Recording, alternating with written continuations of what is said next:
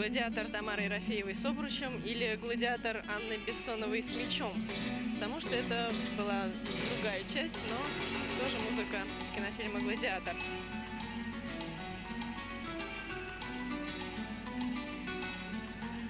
Вот есть, э, из, как бы, если выбирать какой-либо хвалебный эпитет, дабы описать э, вот этот заключительное на сегодня упражнение Анны Бессоновой, то я бы выбрал слово «чудесно». Вот не, выс- не великолепно, не здорово, не отлично, а чудесно. Вот какая-то такая вот э, тихая радость была от наблюдения за этим упражнением. Очень, очень проникновенная композиция удалась Ане Бессоновой. Вот за это, наверное, и, и стоит ценить э, художественную гимнастику, а именно за разнообразие ощущений, скажем так. Но вообще в украинской школе все в восторге от саундтрека к этому кинофильму. И, наверное, поэтому упражнения, поэтому музыку делают особенно самозабвенно, что ли. А пока Магдалена Марковска за... пр- продолжает свое упражнение с булавами, интересным вопросом хочется задаться. Мы и так уже задержали нашу прямую трансляцию на полчаса. Интересно, успеем ли мы показать по окончании выступления Алины Кабаевой еще и э, выступление сборной России в групповых упражнениях? По-моему, оно будет сразу, мгновенно после э, того, как Алина Кабаева покинет ковер. Хотелось бы верить, что раз уж мы так сильно э, не уложились э, в наши запланированные эфирные рамки, э, то, может быть, и три минуты найдутся для сборной групповых упражнений. Поэтому я вам обещаю, если они действительно сразу после Алины выйдут на ковер, то мы обязательно это упражнение покажем. А пока Лейсан Лейсан Утяшева. Утяшева.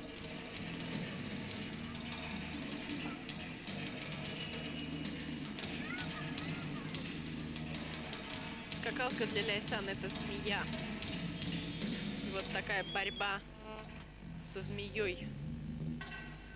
Воображаемая сейчас на ваших экранах.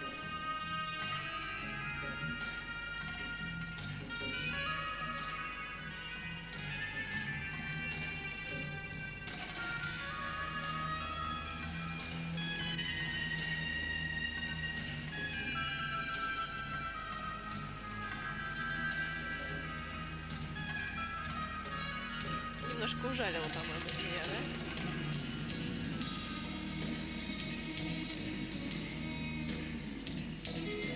Но не таковы российские гимнастки, чтобы от одного укуса, понимаешь, сломаться.